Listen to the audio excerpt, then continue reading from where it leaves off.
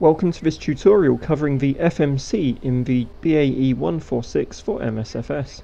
This video will show you how to enter and fly a flight plan. If you've been using the MSFS world map for flight planning, you'll need to re-enable the FMC. This option can be found in the aircraft section and then settings on the EFB. Just tick the box next to FMS navigation. The FMC will then appear on the pedestal and we can start planning our flight.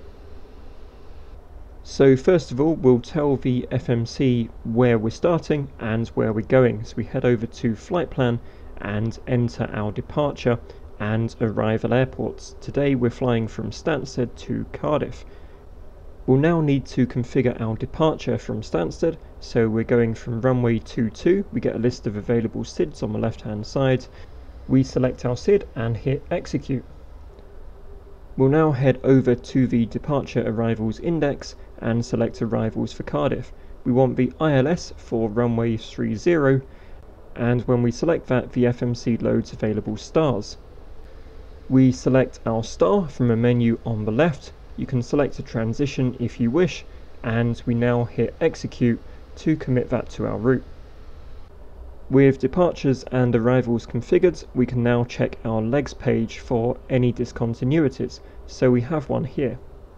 You can either insert any en route waypoints you have here by keying in the waypoint name and clicking the left soft key next to discontinuity. Alternatively, you can select an existing waypoint and move that into the gap to fill it.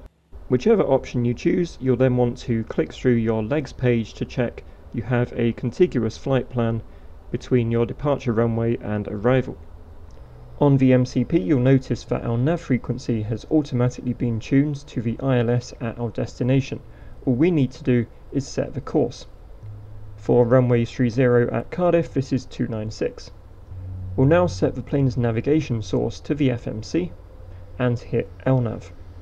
A reminder that at this point you should also configure your vertical autopilot modes, so enter your desired cruising altitude and hit altitude arm.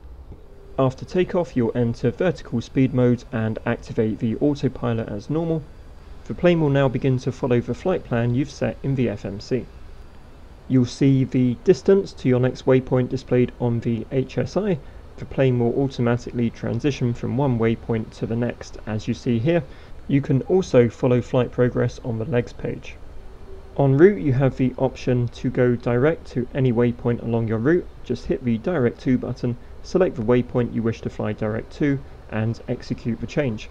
The plane will now begin to fly direct to the waypoint you've selected. And that concludes our tutorial covering the FMC. The rest of the flight is identical to my full flight tutorial which is linked in the description below. Thank you for watching, I hope you found this useful. Please drop a like if you did, and feel free to subscribe as I make this kind of content fairly regularly. Take care, and I'll see you next time.